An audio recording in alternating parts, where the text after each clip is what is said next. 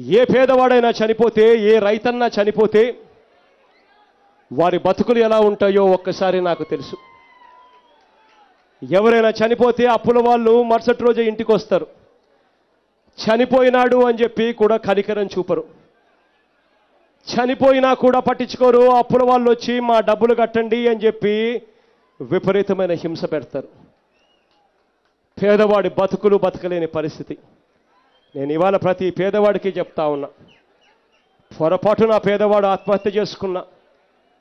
పొరపాటు నా పేదవాడు ఏదైనా అకాల మరణానికి లు- గురైనా ఆ పేదవాడు ఎవరైనా ఎస్సీలు కావచ్చు ఎస్టీలు కావచ్చు బీసీలు కావచ్చు మైనారిటీలు కావచ్చు రైతన్న కావచ్చు ఆ ప్రతి ఒక్కరికి హామీ ఇస్తా ఉన్నా.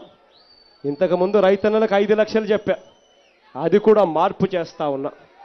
హామీ ఇస్తా ఉన్నా. ఏదైనా పొరపాటున ఇటువంటి దుర్ఘటన జరిగితే వైఎస్ఆర్ బీమా చేస్తాము. ఏడు లక్షల రూపాయలు ఇస్తాము అని చెప్పి హామీ ఇస్తా ఉన్నా. అంతేకాదు చట్టాన్ని తెస్తాం.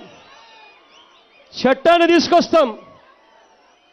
చట్టాన్ని తీసుకొని వచ్చి ఎవరైనా అప్పుల వాళ్ళు వచ్చి ఆత్మహత్య చేసుకున్న ఆ కుటుంబం మీద ఎవరైనా మిందపడితే ప్రమాదవశాత్తు చనిపోయిన ఆ కుటుంబం మీద ఎవరైనా మిందపడితే ఎవరైనా వచ్చి బలవంతంగా మా అప్పులు ఇవ్వాలి అని చెప్పి ఎవరైనా మిందుకొస్తే అసెంబ్లీలో చట్టాన్ని తీసుకొస్తాం.